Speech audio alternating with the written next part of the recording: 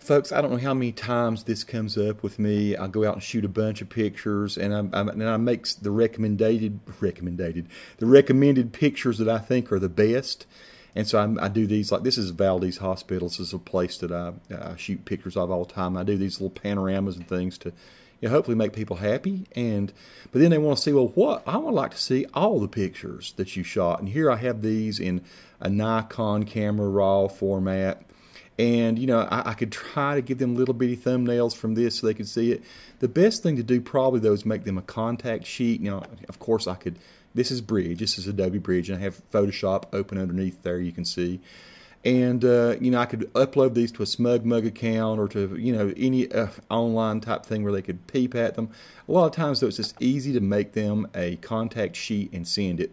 Now I'm not going to make a contact sheet for every one of these. Well, I guess I could. It might take a while, but I'm just going to show you how easy this is to do out of Bridge into Photoshop, and it is pretty easy. So again, they want us. These are all you know camera raw photos, and I would have to go through a conversion um, type situation to get these photos over to them.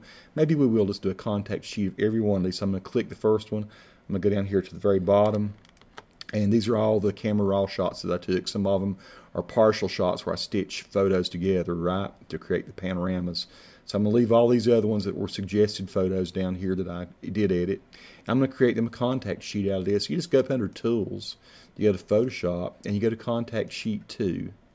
So this is really pretty awesome. So I can choose here, you know, 8 by 10, 300. You know what, I'm going to give them a little few extra pixels on this. I'm going to say 400 pixels because it's going to make little small little thumbnails. But they'll be able to zoom in on these and see them really well. So I'm going to go ahead and say go ahead and, and make this contact sheet. It's going to do five, six rows. 31 files selected, so I, I, it's probably not going to all fit then on the page there, is it? But we'll we'll see. We'll see what happens. I might might have picked one too many for this, but I'm gonna hit OK. Now this is going to take a while to build. You're going to see this all going on over here. It's making the page. So I'm going to hush. It's going to take probably, I'm guessing, three or four or five minutes to do this. And then we'll come back and we'll take a look at what we've got.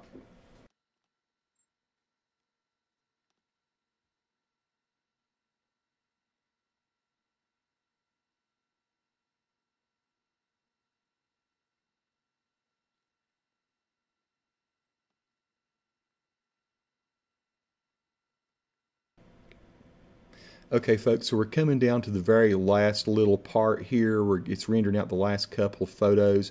Now, each of these photos are huge, right? They're like 18, 19, 20 megs a piece. No way I could send all these to everybody. Right now, Photoshop is preparing this smart object it makes. And so we should pop up here with a nice little contact sheet. And guess what we got? We got the contact sheet on the back side. Well, how about that? How about them cookies? How about this? So here we go. well, that's pretty cool. It makes it actually the overflow there. It scared me for a minute. Uh, we actually have uh, the the fact that we can only get 30 on a page there. It, it, flips over and makes me a second one. I've never had to do one like that before with so many photos. So now, so how do these look? Let's go to 100% and we'll see.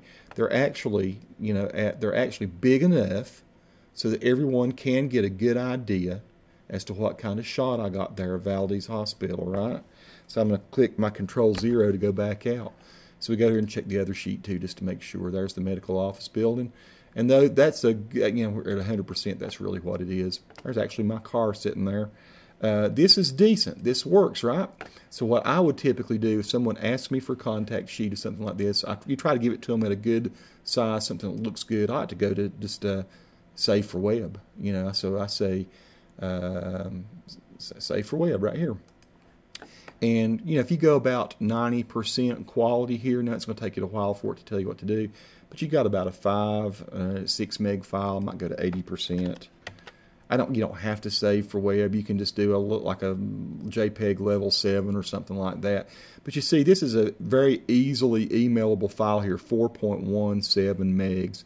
So I'm going to say save. I'm going to put that on my desktop. And so we'll call this contact sheet 01 and we'll save that baby. And then we got contact sheet 2 over here. And we'll say file, save for web. And this one will be very easy. This one will be a tiny one because everything's white, right? Everything around it's white. Level 80 and we'll say save. And it'll be contact sheet 2. There's my contact sheet 1, save. Okay. Boom.